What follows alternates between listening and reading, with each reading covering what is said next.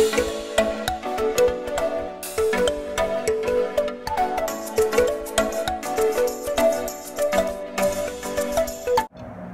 everyone! So welcome po sa channel ko.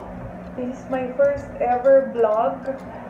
Actually, ah, hindi talaga ako nag-vlog ngayon lang. Inspire lang ako sa mga vloggers na napapanood ko this past few days. And nag-iisip ako ng magandang i-vlog. So, ngayon, ah, isa sa mga naisip ko is ah, gusto kong i-share kung paano ako mag-store ng breast milk. Okay, so I'm a first-time mom for my 5-month-old uh, cute baby. Si baby siya. So yun, uh, exclusive breastfeeding mom ako for 5 months na, turning 6 months in just few days. Um, so yun, kung para sa mga nagtatanong uh, tungkol sa pagpapump, isa-separate discussion na lang natin siya. So just wait for my my next vlog about pumping kasi medyo mas mahaba-habang topic yun. Okay? So, for now, um, dito tayo sa kung paano mag-store ng breast milk. Um, Unang-una po sa lahat, hindi po ako professional. Okay? This is just uh, based on my experience na gusto kong i-share sa mga mommies at sa mga expectant mommies na nanonood ngayon. Okay? So, yun. Um, I have here, ito po ang freshly pumped uh, breast milk ko. Ah, habang dumidede si baby dito sa na, sa left side, okay, um, tumutulo sa kabila. So, I have the catcher. Sorry. Here. So, meron akong ginagamit na catcher. Ah, habang nagla-latch si baby dito sa kabila. So, dito sa kabila naman, nakakabit to. Kasi, nung first, uh, first month ko, grabe, habang dumidede si baby, nilalagyan ko lang ng towel. So, sobrang nanghihinayang ako sa mga tumutulo. Uh, naisip ko lang, sayang kasi pwede pa pala yun. Okay, so, uh, simula nun, uh, inaano ko na siya. Sinasalo ko na siya ng nito sa kabila. Ito naman, uh, pinump ko siya. I have an electric pump um, from Bunay. Thank you, Bunay.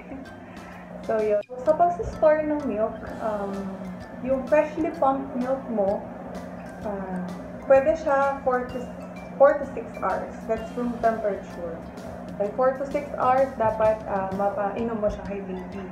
Okay? And then, yung kapag naman nilagay mo na siya sa ref, uh, pwede siyang tumagal ng 3 to 6 days. So, yun. And then, for uh, storing in the freezer naman, um, pwede siya up to 3 to 6 months. Kapag deep freezer, umaabot nga daw talaga ng 12 ng 12 months. Okay, so inulit ko po, hindi ako professional, so this is just based on on uh, experience and syempre sa mga nababasa ko sa IG, sa FB, everywhere. Uh, ang dami-dami mo nang pwedeng matutunan uh, sa sarili mo lang mismo na pag, pag-explore, okay? And itong sinishare ko na to, this is uh, how I am doing it. And sana makatulong sa mga momsies na nanonood ngayon. Okay? Um, so, so I have here, uh, this is 4 ounces. Okay? So, ganito siya haluin. Uh, dapat igaganyan mo siya. Hindi, hindi yung kakaligin. Kasi pag kinalog, magka, magpo-produce siya ng bula-bula. Okay? So, dapat ganito lang po siya. Okay? And then, so, meron ako ditong storage bag. Kailangan nung magkaroon ng uh, breast milk storage bag. So, this is uh, Sun Mom. Ito yung pinaka-gusto kong gamitin na na breast milk bags. Uh, I've tried so many brands, pero ito talaga yung pinaka-gusto ko. By the way, I want to thank uh, Ninang Raquel Lara and Ninong Rudy Lara, pati si, si Charmaine at si ate, yung ate ni Charmaine. Ayan, hindi nila ako ng maraming maraming maraming maraming storage bags. Yay! So, ayan. Thank you po sa storage bags. So, yun. Ito yung itsura niya. Actually, um, there was a time na ah, sobrang lakas ng gatas ko nun. ah, naubusan ako ng storage bags. Pwede mo siyang mabili sa Mercury Drugs. Drugs. Ang dami na din. Mercury Drug, okay? So, yun. Um, ito yung cute na bago. So, ito kasi ay um, I think this is 8 ounces. So, 8 ounces yung ano niya. So, ito na lang pakita ko. Same lang din naman siya. Ito pink, ito blue. Yan, ganito yung itsura niya. Okay? So, kapag maliit, yun yung mga cute. Ito. So, nasa sayo kung tag-ilang ounces mo gusto i-store yung milk. Pero, ang advice ko, mas maganda kung tag 3 ounces lang o kaya ah, 4 ounces, maximum of 5 na. Kasi, ah, for example, meron kang nilagay na sa ganito na 6 ounces. So, kapag, kapag tinow mo siya, tapos ang dinedi lang ni baby is 3 ounces, so sayang lang yung tira. So, mas maganda kung kung ilan lang yung talagang na ideal na na-date, na dede ng baby mo, yun lang yung isa-store mo, okay? So, mamaya ipapakita ko yung mga naka-freeze na natatik-titik off. So, eto. So, dahil nagpas to sa 3, so dito natin siya ilalagay. Okay? So, syempre, first of all, wash hands. After you wash hands, yan, alisin mo lang yung nasa top. Kasi open mo siya. Okay. Yan. So, swirl lang natin ulit.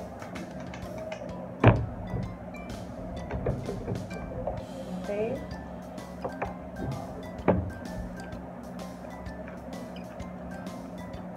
So, ang maganda dito kasi tatlo yung ano niya, tatlo yung pinaka zip lock niya or zip.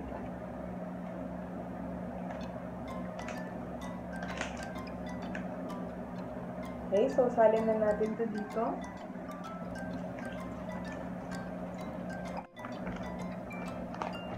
So, kapag nasalin na siya,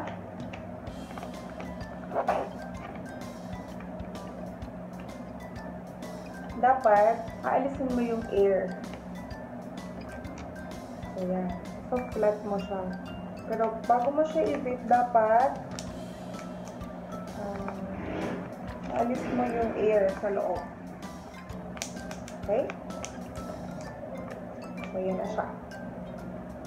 And then, kapag sinistore siya sa freezer, naka-flat siyang ganyan.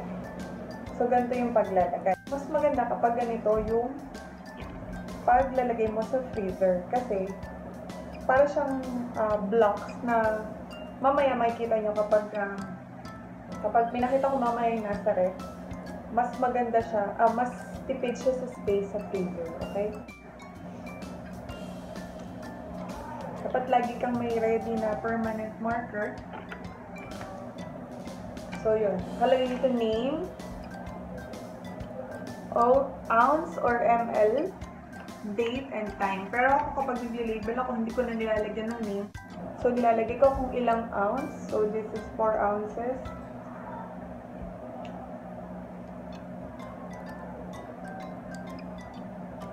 And then, ang oras ngayon is 1 p.m. And then, dito sa name, dito ko nilalagay yung date to date. So, ngayon ay July ano ba natin? So, July 25. Ay. July 20. Pagkasabay ka kasi nakakalimutan mo na kung anong date. So, eto na po. Pala.